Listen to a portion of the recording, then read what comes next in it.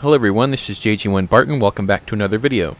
Yes, this is Battle of Stalingrad, and yes, this is recent footage. Yes, I did put out a video stating that I wasn't going to play this game anymore. I'd uninstalled it, and I was done with it. And I meant it when I said it. Now, some of the opinions that I put forward in that video received a little bit of backlash. Now, anytime you voice an opinion on the internet, someone is going to come up with a counter opinion, and that's fine. Everyone has a right to an opinion, and they have a right to give that opinion. One of the criticisms that I received was that my opinions were simply opinions, and they were not scientific. And that criticism was correct. I didn't give any scientific evidence of any kind. I simply stated what my experiences were in the game and why I didn't like it and why I wasn't going to fly it anymore. However, I did see an opportunity to go back and do the direct comparisons that I needed to to really show people what I was talking about. And the comparison that I ended up performing was between the E7 in Battle of Stalingrad and the Bf 109 E4 in Cliffs of Dover. I also performed a comparison of the Focke-Wulf 190A3 and the Focke-Wulf 190D9 of DCS. Now, the Focke-Wulf D9 and the A3 are certainly not an apples to apples comparison, but they are more or less a kind of apple considering that the D9's only modification was a different engine and a slightly elongated tail. The wings were precisely the same. This being the case, their stall characteristics should be fairly similar, although not identical because they are somewhat different aircraft. I really wanted to do this comparison with 1946 as well, thinking that I still had a backup copy on an external hard drive, but some time ago I managed to delete that because I didn't think I'd ever need it again. So in order to reinstall IL-2 1946, I'd have to dig up my old hard copies, and I just wasn't going to go that far. And doing this comparison meant that I had to re-download IL-2 Battle of Stalingrad and set keys and bindings and axes and stuff like that. And while I was doing that, I really decided to sit down and hammer out my sensitivities. Now, I think it's absolutely bullshit that you have to set your sensitivities and sit here and experiment with them just to get the aircraft to be even flyable in this game. However, once you do, in an even greater extent than I did when I made the video about sensitivities, ironically, uh, the aircraft become quite a bit more flyable than even I'd expected. The stall characteristics are still crap though, and that's what I wanted to show you guys in this video. And to compare the aircraft's performance and their stall characteristics, I performed four different maneuvers, all of which occurred at 1,000 meters altitude and roughly 400 kilometers an hour. Two of those maneuvers were simply flat turns, pulling the stick as far back as I could, trying to get the aircraft to stall, both to the left and right side. Now, the second maneuver that I performed was a full back stick and full right or left rudder. We'll begin our examination starting with the Bf 109E4 from Cliffs of Dover and the 109E7 from Battle of Stalingrad. We'll start off with the Bf 109E4 Cliffs of Dover going full backstick and full right rudder. In cockpit, everything looks pretty sensible. It's pretty easy to tell that the right wing has stalled and it's begun to rotate around on top of it. From an external view, everything looks exactly as you might remember it from IL-2 1946. Quite remarkable, though, is the difference in how the E4 from Cliffs of Dover and the E7 from Battle of Stalingrad recover from the spin. The 109 E4 becomes quite stable very quickly. Performing the maneuver in the opposite direction yields identical results.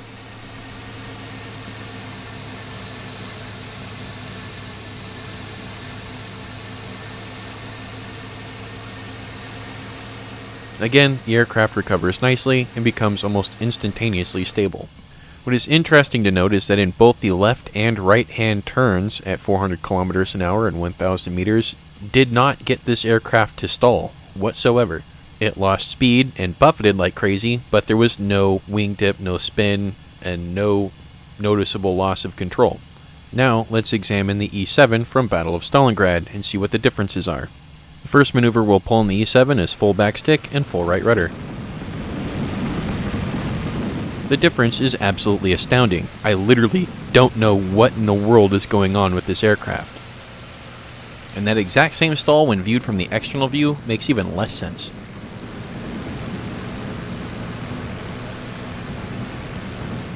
And it's the same even in the opposite direction.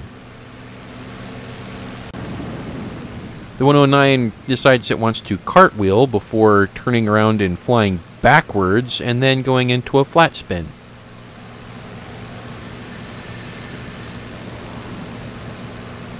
But now let's go ahead and look at the flat right-hand turn. Remember, the E4 in Cliffs of Dover didn't stall at all, but that is not the case with the E7 in Battle of Stalingrad.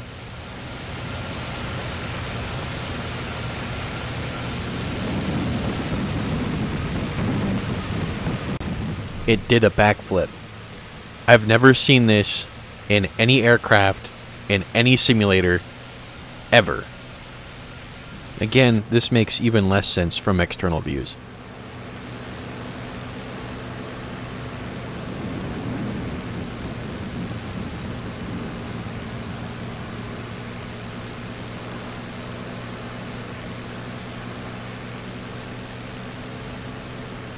A stall going left is much the same. It's readily apparent that the left wing stalls, but what happens after that is anyone's guess.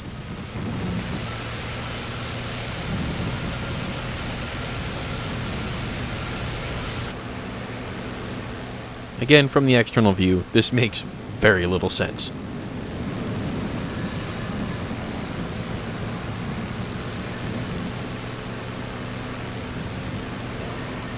Now let's go and compare the 190s, starting with the D9 of DCS.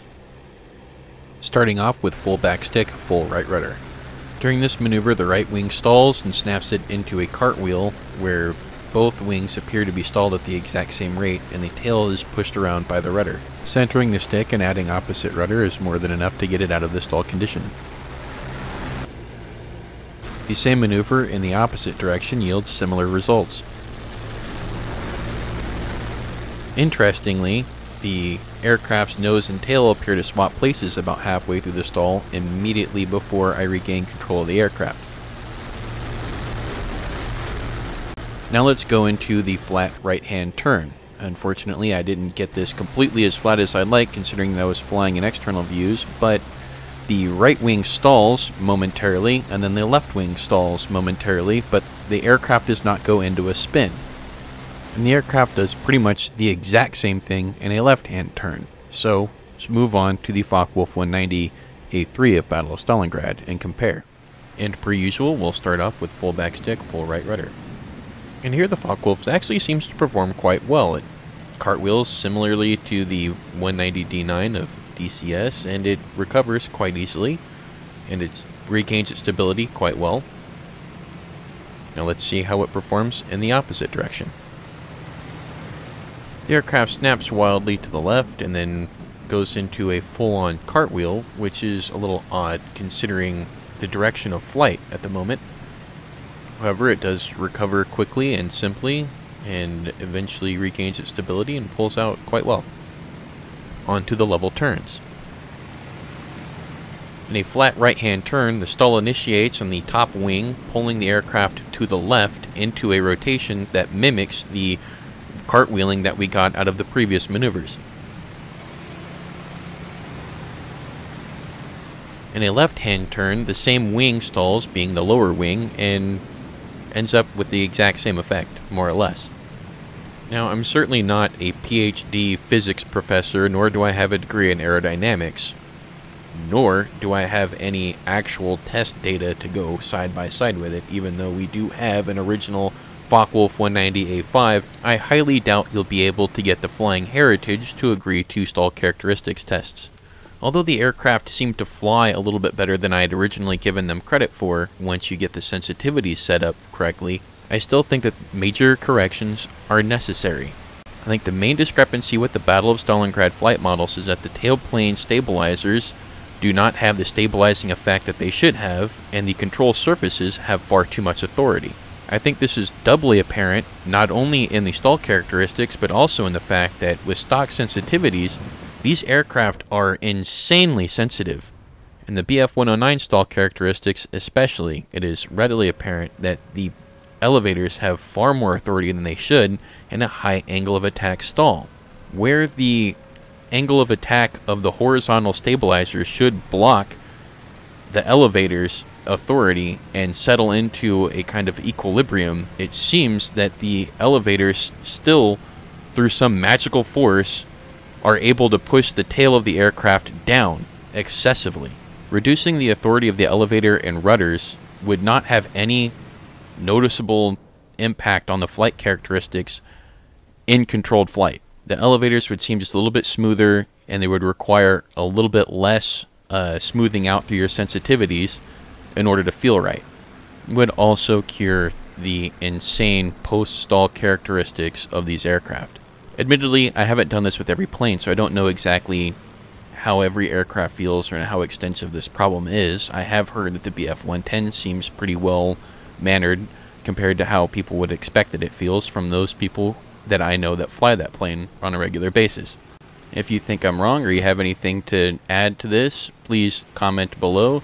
If you liked the video, like, share, and subscribe. And as always, thank you for watching.